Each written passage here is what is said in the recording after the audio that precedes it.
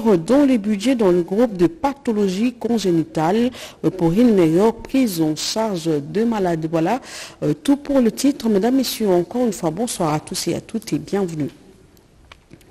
La République démocratique du Congo n'a pas de terre à donner au Rwanda. C'est bien les contraires. Propos du professeur émérite Isidore Ndaïwel qui estime que la sortie médiatique du président rwandais Paul Kagame fait tomber le masque et donne davantage de l'éclairage sur les motivations de la guerre dans l'Est de la République démocratique du Congo.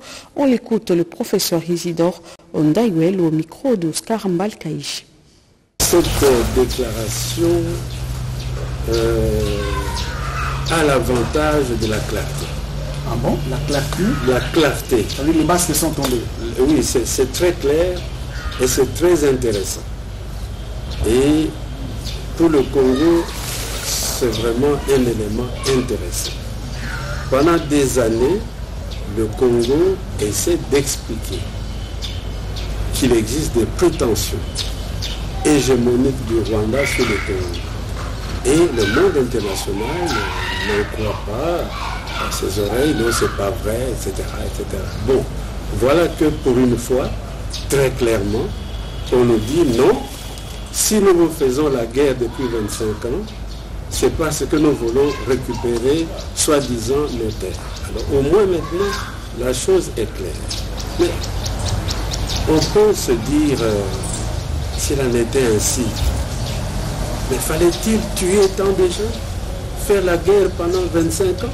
Si ce n'était qu'une prétention de cette nature, il existe des instances internationales pour pouvoir en juger. Je pense, très honnêtement, que pour qu'un jour nous ayons des rapports sains avec le Rwanda, il y a une guerre salutaire qui doit se faire. J'insiste, salutaire. Salutaire. C'est-à-dire une guerre qui pourrait nous permettre enfin de se regarder face à face et d'être vraiment de même bord. Parce que pour le moment, Rwanda, avec toute l'accumulation des aides militaires internationales, est devenu un peu, je dirais, la Prusse des temps modernes. Insécurité grandissant dans la ville-province Kinshasa, le vice-premier ministre, ministre de l'Intérieur et Sécurité était dernièrement dans la commune de Kisanso euh, où c'est hors la loi, où euh, ces enfants appelés communément Kuluna font la loi et se battent à tout moment dans une tribune populaire. Peter Kazadi a d'ailleurs annoncé un numéro vert qui sera bientôt opérationnel pour permettre à la population de dénoncer dans l'anonymat tout acte On en parle avec Alain Bikaï. Des pertes en vies humaines, des postes de police pillés, des commerces et habitations vandalisés, tels et les bilans des bagarres rangés des jeunes Kuluna de la commune de Kinseso et ceux de Mbanzalemba dans la commune de Lemba du week-end passé. C'est hors la loi défie même l'État, un véritable Far West. Informé de la situation, le patron de la sécurité nationale, Maître Peter Kazadi, s'est rendu sur le terrain pour s'enquérir de cette situation. Le vice-premier ministre, ministre de l'Intérieur et Sécurité a été accueilli à Moïse par la population de ce coin de la capitale, victime des actes barbares causés par ces inciviques dans une sorte de tribune d'expression populaire, Maître Peter Kazadi Kankonde a sollicité la collaboration des uns et des autres pour mettre fin à cette situation avant de leur annoncer la mise sur pied des numéros verts pour dénoncer tous ces malfrats.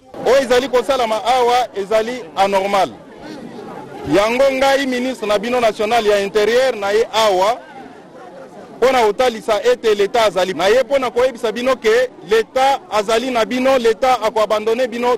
Ce qui se passe ici est inacceptable. Je suis venu vous assurer le soutien du gouvernement de la République.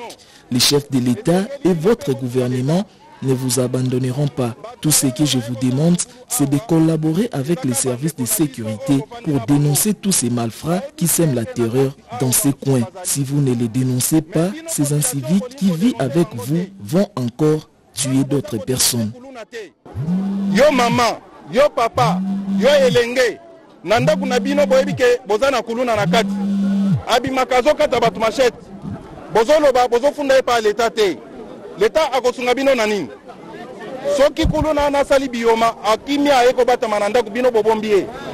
Séance tenante, le vice-premier ministre, ministre de l'Intérieur, a convoqué une réunion en urgence avec les bourgmestres de ces deux communes et les responsables des services de sécurité pour statuer sur ces cas et arrêter des stratégies. La patrouille mixte Forces armées de la République, police nationale congolaise, initiée par le maire de la ville de Matadi, dont la province du Congo central, produit déjà ses effets au Cicéron Mavinga, parrain de plusieurs cartels criminels et vendeurs de drogue, est tombé dans le filet. Euh, le tribunal des grandes instances de Matadi a infligé de lourdes peines aux malfrats arrêtés dans le cadre de cette opération. On retrouve encore une fois l'Ambikaï. Nous ne sommes pas dans un film hollywoodien, mais c'est une opération des titans réalisée par des éléments des FARDC PNT dans le cadre de la patrouille mixte dans la vie des Matadi. Il a fallu beaucoup de professionnalisme pour arrêter les chefs de bande des malfrats et vendeurs de drogue, Cicéron Maving alias maître des temps et des circonstances.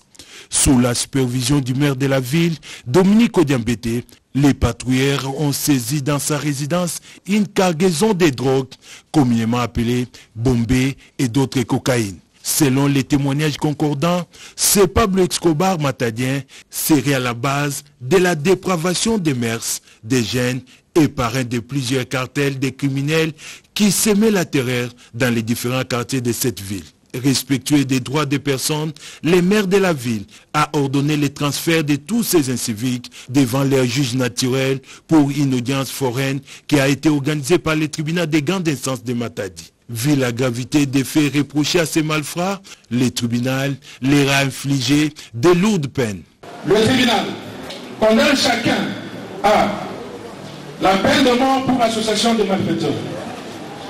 20 ans de service pénal principal pour extorsion.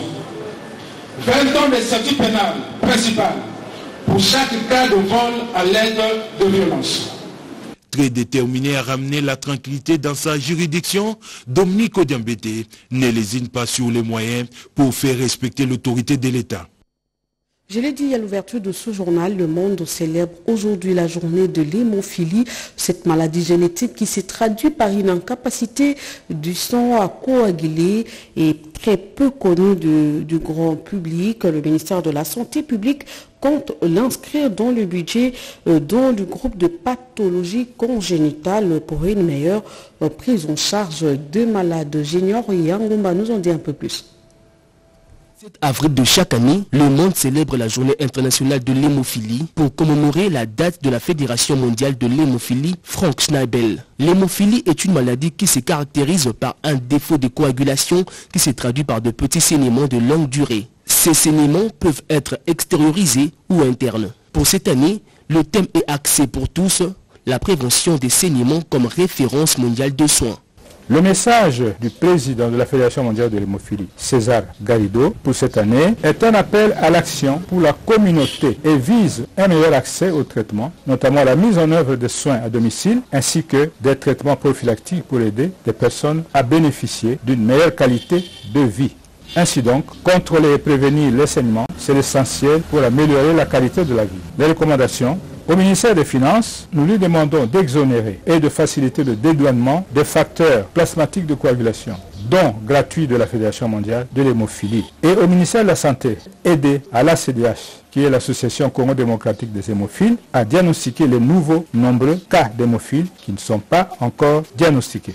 En République démocratique du Congo, le ministère de la Santé publique doit inscrire dans le budget ces pathologies rares, hémophilie, dont les groupes de pathologies congénitales telles que la drépanocytose pour permettre une meilleure prise en charge aux personnes atteintes de cette maladie dévastatrice. Autre chose, l'octroi de mine euh, crédit aux pe- des microcrédits aux petites et moyennes entreprises, c'est l'une des missions principales de la Fondation Jean-Claude Sungula qui a fait sa sortie officielle il y a quelques mois, mission dévoilée par son président lors d'une cérémonie porte ouverte marquée par des adhésions massives. Les détails avec Eric Kabamba. Les portes de la fondation Jean-Claude Sungula étaient grandement ouvertes au public de toutes catégories pour se rendre compte de la mission première de cette fondation. Une journée porte ouverte coïncidait avec des adhésions massives. Devant des centaines de Quinois venus des quatre coins de la capitale, le président de CETAS belge Jean-Claude Sungula, à cœur ouvert, a dévoilé les ambitions de sa fondation, axée essentiellement sur les actions sociales conformément à la vision du chef de l'État, Félix Antoine Tshisekedi Chulombo. L'octroi des crédits pour financer toutes les petites et moyennes entreprises pour créer plus tard de jeunes millionnaires congolais, c'est la base même de cette fondation. La grande réunion d'aujourd'hui était essentiellement focalisée sur euh, ce que nous appelons la journée porte ouverte et d'adhésion massive des nouveaux membres à la fondation Jean-Claude Tsungula. Nous avions aussi profité de cette occasion pour présenter le calendrier de nos activités à nos membres, ainsi qu'expliciter en long la façon dont nous allons travailler, les méthodes de travail, ainsi que les critères d'éligibilité pour l'octroi de ce que nous appelons microcrédit. Quelques mois seulement après sa sortie officielle, cette fondation continue à s'étendre dans toute la capitale et son président procède déjà à l'installation des comités locaux des différentes entités. Quelques quartiers de la commune de Lemba vont bientôt renouer avec l'électricité et après plusieurs mois passés dans le noir, la deuxième vice-présidente de l'interfédéral de l'ACP Norbetine Matanda a remis un nouveau transformateur pour l'électrification de ce coin de la capitale, Iverson Kabwaba. Restés pendant plusieurs mois dans le noir, les habitants du quartier commercial dans la commune de Lemba peuvent enfin dire au revoir à l'obscurité. Une énorme panne d'électricité due à un incident sur un transformateur avait touché ces coins de la capitale. Après plusieurs cris d'alarme, la solution vient enfin d'être trouvée. La deuxième vice-présidente de l'interfédéral de l'ACP, Norbertine Matanda, vient en Messie en remettant un transformateur tout neuf. Les ampoules peuvent enfin rallumer dans des maisons de ses habitants. Message message à Kimia, il y a espoir que désormais ils peuvent compter sur maman Norbertine Matanda. Ça 4 mois, plus de 4 mois, le manque de l'électricité dans cette commune favorise la délinquance. Voilà pourquoi nous sommes venus avec ce nouveau transformateur pour éclairer les différents quartiers.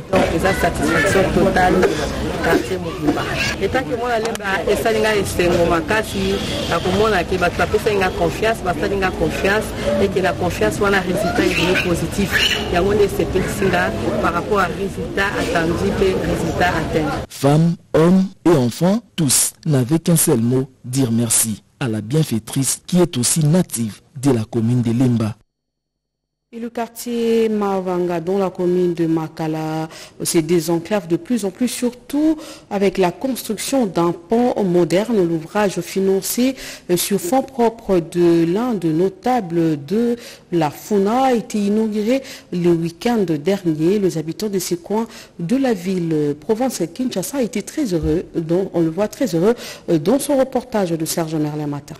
La population du quartier Kimwenza, dans la commune de Makala, éprouve des difficultés énormes de circulation dès que dame la pluie est tombée. Fini donc les calvaires. Désormais, avec cette infrastructure, il est possible de réaliser paisiblement la traversée sur l'avenue Bukanga et ses environs, accompagné d'une foule des résidents des quartiers concernés par les ponts. Ainsi, j'étais Maître Paul Njunga a personnellement procédé à la coupure du ruban symbolique. C'était sous les acclamations de la population bénéficiaire. Et c'est là, en présence des autorités locales, du secrétaire général, l'IMLC, Fidel Babala, ainsi que tant d'autres cadres et membres de la dynamique Paul Njunga.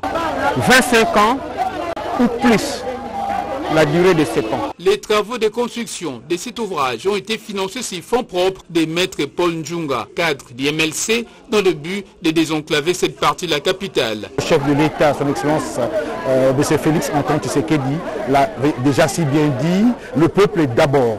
Aujourd'hui, vous avez la concrétisation de cette parole qui n'est pas un slogan, le peuple est d'abord et nous nous montrons proche de la population. C'est ça même le credo de l'Union sacrée. Par ailleurs, n'ayant pas accès à l'électricité depuis plusieurs années, les habitants du camp Pinzi, à Yelo, dans la commune de Kalamou, n'ont pas été oubliés. Ils ont reçu une donation d'un câble électrique de plus d'une trentaine de mètres en vue du rétablissement du courant électrique dans ce coin de la ville. Il s'agit encore là d'une œuvre sociale de Maître Paul Njunga en faveur de la population de Funa.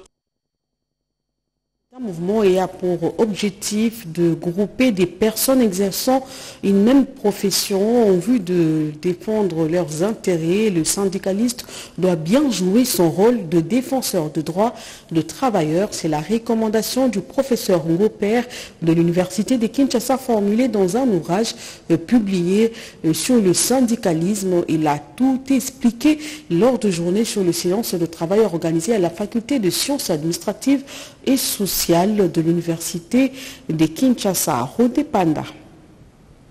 Vendredi 14 avril 2023, de première journée scientifique organisée à la faculté des sciences sociales, administratives et politiques de l'université de Kinshasa en collaboration avec le centre interdisciplinaire en sciences du travail. Cette cérémonie a été présidée par le professeur Jean-Paul Mbouya Koutoumissa, assistant principal directeur de l'UNIKIN, le professeur Jean-Marie Kaembentumba. Trois temps forts enregistrés, à savoir les exposés du deuxième jour des travaux dans l'avant-midi, premier épisode, ensuite les recommandations issues du rapport général et les baptêmes de trois ouvrages scientifiques. Deux de ces trois livres sont l'œuvre du professeur Ruffin Ngomper Ilunga, publié sur le syndicalisme congolais et actions sociopolitiques en période de démocratisation, et l'autre sur les partenariats et les acquis dans le secteur fluvial et laquiste en RDC. Le troisième livre du professeur Crispin David Mwenge Nonungu consacré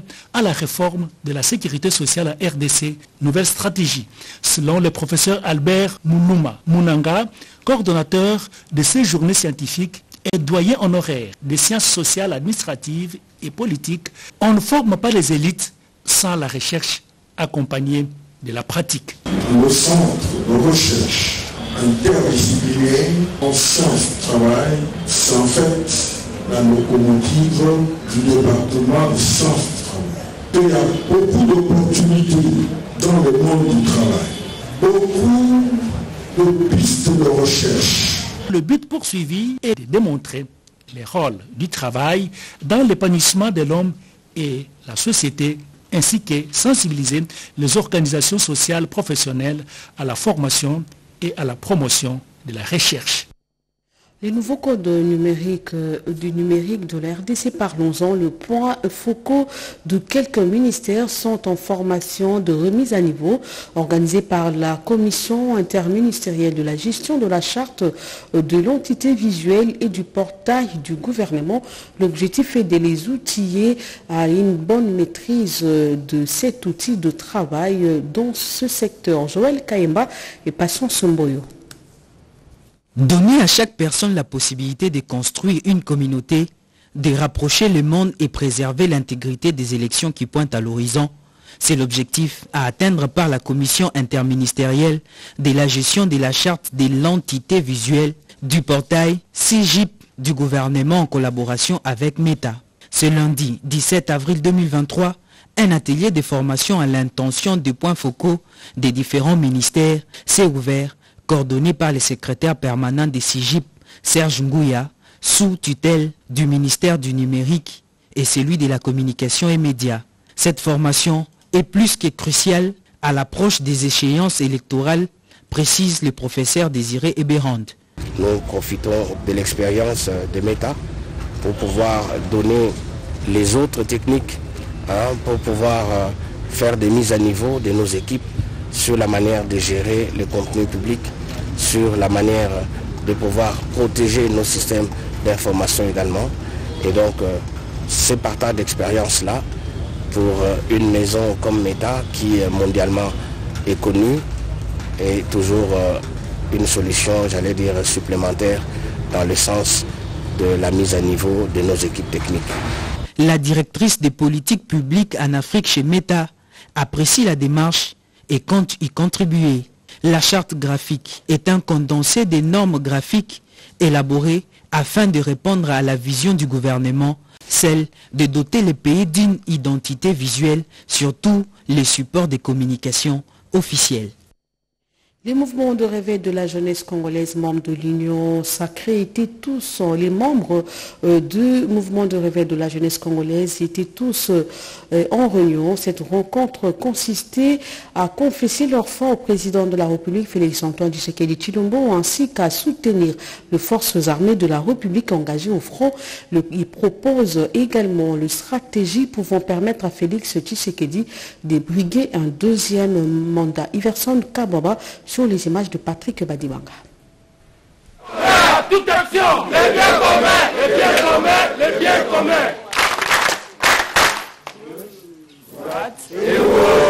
La réussite d'une épreuve doit se préparer en amont. Cet adage vaut son pesant d'or dans le cadre de cette réunion des membres du mouvement des réveils de la jeunesse congolaise, tous membres de l'Union sacrée, pour créer une synergie en vue de donner le garant de la nation, Félix-Antoine Tshisekedi Chilombo, un deuxième mandat aux élections de 2023, a expliqué John Mbayantita, président national de cette formation politique. C'est ici l'occasion pour le MRJCO de rappeler à la communauté internationale les principes de la souveraineté et de l'indépendance visant à gérer les affaires intérieures d'un pays sans aucune injection extérieure. Le mouvement de réveil de la jeunesse congolaise MRJCO en sigle soutient la position du chef de l'État, son Excellence Félix Antoine Tshisekedi Chilombo, celle de non-négociation avec les Rwandais dites les rebelles du M23. À l'issue de cette réunion, le mouvement des réveils de la jeunesse congolaise a invité le peuple congolais dans son ensemble à un soutien indéfectible aux FRDC engagés au front contre l'armée d'occupation rwandaise. Direction le Grand Kassai un atelier sur l'imprégnation du projet d'appui au développement intégré de l'économie rurale. Le projet du gouvernement congolais a été organisé dans trois provinces du Grand Kassai. C'est le gouverneur du Kassai oriental, Mathias Kabea, qui a ouvert ses travaux. Reportage Karen Kankolongo et Grace Maoso. C'est à l'occasion de la clôture des mois de la femme que Mme Pascaline Koudoura au cadre du parti présidentiel UDPS était allé à la section Ngomba Kikusa pour sensibiliser les femmes de l'UDPS sur les élections de 2023. Un bon mère de famille, Pascaline Koudoura a remis à toutes les mamans présentes l'épargne afin de clôturer avec eux en beauté les mois dédiés aux droits de la femme. Il en est suivi le deuxième jour de la visite de la cellule Koutou dans la section Ngomba Kikusa où dirige le camarade Djouma Selemani Pascaline Koudoura, un bon mère de famille, elle était encore allée pour parler avec les mamans de l'IDPS de la cellule Koutou où Pascaline Koudoura a insisté sur les rapports aux élections de 2023 où Pascaline Koudoura invite toutes les mamans de l'IDPS à s'y mettre. Donc nous avons préparé une rencontre avec les femmes pour, leur sens, pour les sensibiliser davantage, pour dire la promotion de la femme. Notre président de la République nous a déjà montré sa volonté politique de promouvoir les femmes, mais la, responsabilité reste également dans le chef de la femme, c'est-à-dire de vouloir participer à la gestion de la chose publique et d'adhérer dans les partis politiques et au moment arrivé, au moment opportun, au moment venu, de se lancer, de à l'eau comme euh, les hommes pour pouvoir euh, euh, d'abord postuler et aussi participer, avoir le siège hein, comme les hommes et pouvoir participer à la gestion de la chose publique. Signalons par ailleurs que Mme Pascaline Koudoura au cadre du parti présidentiel IDPS ne cesse d'aménager aucun effort pour la réélection du chef de l'État, Félix Antoine Tshisekedi Chilombo, aux échéances électorales de 2023. C'était plutôt la sensibilisation de femmes de l'UDPS sur les échéances électorales. On reste dans ce chapitre pour parler aussi de cette rencontre de membres de l'Union sacrée pour le soutien au chef de l'État Félix-Antoine Tshisekedi Chilombo et à l'armée.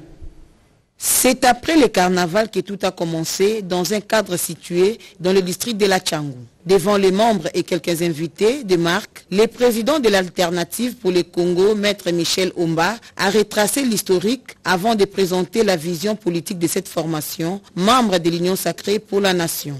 La CRDC s'engage pour la conquête du pouvoir, l'exercer le plus longtemps possible à tous les niveaux et soutient ceux ou ceux qui marcheraient dans la volonté de Dieu et qui feront le bonheur de notre peuple. Les valeurs qui fondent l'alternative pour les Congo sont chrétiennes, la justice et le pardon pour le développement harmonieux du pays et l'épanouissement de la population. Il a par ailleurs procédé à l'installation des fédéraux et interfédérales du district de la Tchangou. Il s'est de signaler que ces partis politiques sont parmi des partis politiques qui ne jurent que sur le second mandat du président Félix Antoine Tshisekedi. Je le disais tantôt en atelier sur l'imprégnation du projet d'appui au développement intégré de l'économie rurale. Le projet du gouvernement congolais a été organisé dans les trois provinces du Grand Kassai. C'est le gouverneur de la, province du Kassai oriental, Mathias Kabea, qui a ouvert ses assises grâce à Mao Sukeran Kankolongo.